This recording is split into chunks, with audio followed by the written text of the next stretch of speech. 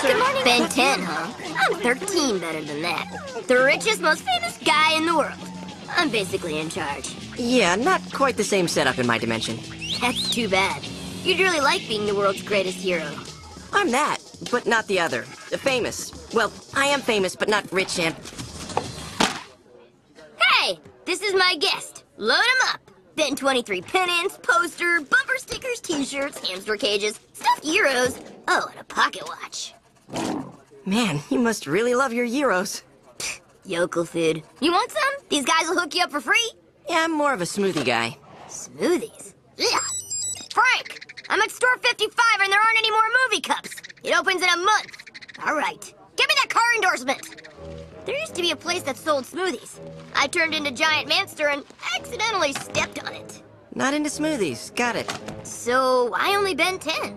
Is that all the aliens you got? It used to be 10. Now I have more than 70. I don't really have just 23 aliens. More like, uh, 50, uh, uh, 90. How do you roll yours out? Huh? I hit the watch. No, I mean, how do you stoke the demand? No more autographs. Always leave them wanting more.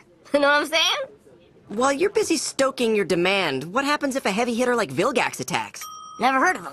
Who ordered the calamari?